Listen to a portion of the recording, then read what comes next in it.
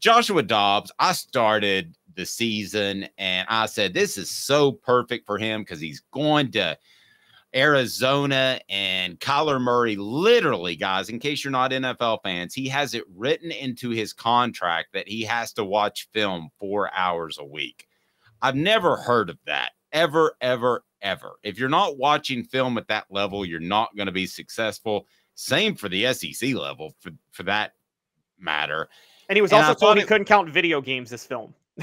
yes. And I thought Joshua Dobbs to Arizona was going to be a great fit. Now, they're kind of trying to tank to maybe get a Caleb Williams. Um, at least that's the talk. But Dobbs traded Tell me about his new destination. And should we be happy for Josh Dobbs, who we love to root for? Um, or should we be like, ah, darn it? You should be thrilled for Josh Dobbs. Ooh. You should be thrilled. Josh Dobbs is finally on a team with a quarter with a coach who will be invested in him, a coach who knows how to call offense, and a team that is not trying to tank. Um, well, tell, tell everybody where he's going. I haven't even said that yet. Josh Dobbs was traded from Arizona to Minnesota. Minnesota is four and four. They just lost Kirk Cousins for the season. They still mm-hmm. think they have they're a playoff caliber team.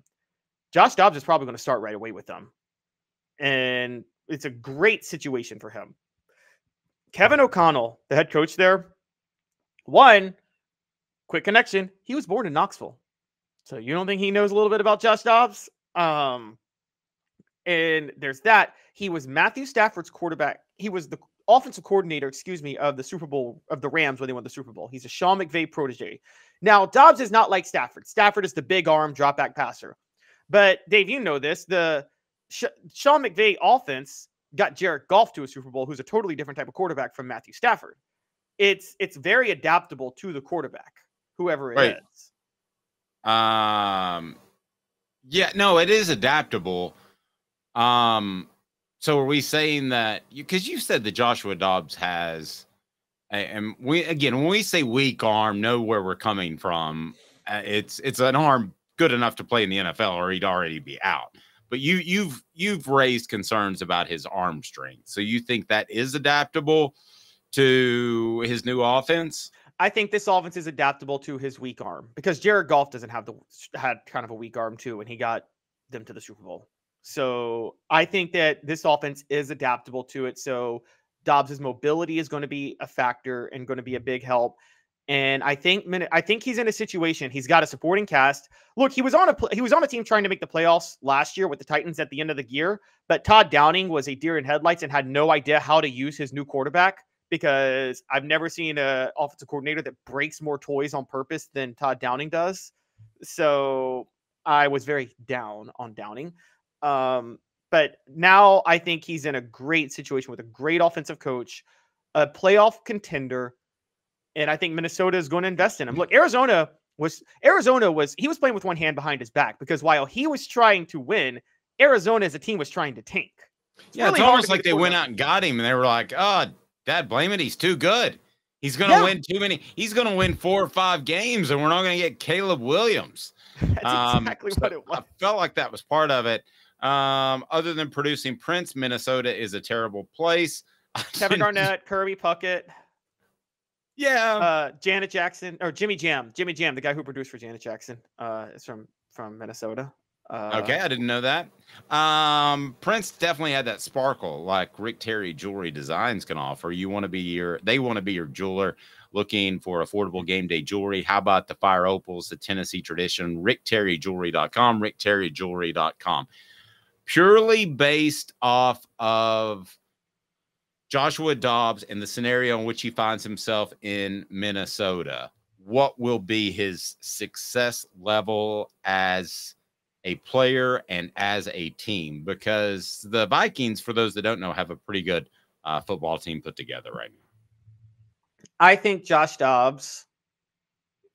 I'm going to say it with the NFC North kind of in flux. I think Minnesota is a play as a wild card team this year.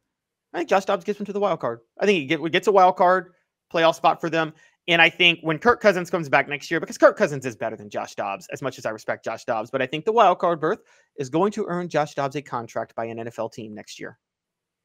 Okay.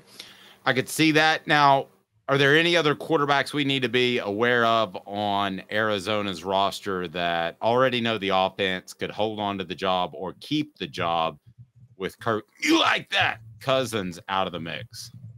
You didn't. You said Arizona. You sure you meant Minnesota, right? Oh, I'm sorry, Minnesota. Excuse me. Yes. Um, Jaren Hall, I think, is the only guy, other guy on the roster, and technically he's listed as the first stringer. And I do think Jaren Hall might start this week because Josh Dobbs was just traded. But I think I still think Dobbs gets that job in two weeks. Honestly. By the way, uh, I don't know if you guys know this. Uh, nice little throwback. Ty Chandler is the backup running back at Arizona, who played at Tennessee for a little while. Nice. And if Dobbs works out at eh, or not Arizona, Minnesota, if Dobbs works out at Minnesota, could Josh Dobbs and Hendon Hooker be a future rivalry in the NFC North? This is turning into the most sarcastic message board of all time. Orange Blood said, Did y'all know Dobbs has an aerospace engineering degree? I mean, that has been so reported. It's almost like you can't introduce him. Like he walks into a room and said, Hey, this might be our new starting quarterback here at Minnesota. Who's excited? And by the way, he has an aerospace engineering degree. His name is Josh Dobbs. oh my gosh. Dave, I got, I got a question about you with Dobbs, though. Honestly, serious question because I want to I want to point this out. Okay. Tyler Bray to Josh Dobbs, and I bring this up a lot. Is are those the two most extreme examples of a quarterback who maximized his talents at the highest degree in the NFL as what he could do, and a quarterback who totally wasted his talents? Or am I being? Yeah, I thought you. Okay, for a second, I thought you were going to say they were both. They both maximized their talent. I was like, no. whoa. No, was No, Tyler no, was Tyler Bray a total waste of talent? Do you think he could have been Uh, a starter if he had his head right? Yeah, yeah, yeah, yeah, yeah. Um, no question. And and when you go into the NFL, and this is the difference between Dobbs and Goff, for instance. When you go into the NFL, if you don't have a lot at stake on you in terms of a high draft pick, in terms of a lot of cash coming your way, you're going to lose out to a, a depth chart battle to another guy that has more of that clout. So Goff was highly thought of coming out of school, and I mean him and Dobbs have been about the same. I mean, I, Goff's had more opportunity, but that's because of the perception coming out of college. I'm sure they have great, fantastic Josh Dobbs memorabilia at Sports Treasures, carrying over 5 million sports treasures and so much more. Follow on Facebook for the best sports memorabilia, daily updates. Again, go to Facebook, sportstreasuresTN.com. You can find them there, sportstreasuresTN.com. Boy, it would be fun to watch Josh Dobbs advance Minnesota in the playoffs, maybe win a game or two. Is there a more lovable Vol who did less in his time at, at Tennessee? Because the flip side of that is Casey Clausen, who nobody liked during his time. There, there's a recent push of, of liking him, uh, as I saw on Facebook recently, and he's a road warrior. I was trying to tell you all that stuff in 2002. Um, and he brought a, a real sense of uh, confidence to the team. But is there a more lovable Vol who has done less during his Tennessee career than Joshua Dobbs? Done less, like wow. That I hate to say that because like you don't want to like knock Josh Dobbs because like Yeah, no, but I Um, mean, but he didn't win. He didn't even win an SEC East. Casey did, and Casey's still despised by a lot of a lot of guys. Um, I mean, hot take. Condredge Holloway might have done less than Josh Dobbs. Um, but he, uh, but Condredge Holloway is beloved. wasn't Condredge Holloway's fault. I mean, taking the race part out of it, which is a big part of it, but just focusing on the team. Anybody who knows Tennessee history, that program was sliding into irrelevancy because they were so far behind the rest of the SEC curve. Tennessee had people from the Neyland days in the 70s. I don't know if you know the story, Dave. They didn't want to put lights at Neyland Stadium. They thought it was a violation of tradition to play night games in the 1970s to show you how stupidly old school they were at the time. yeah, I think Wrigley Um, Field was the same way, and uh, they put lights up. Bill Murray showed up drunk.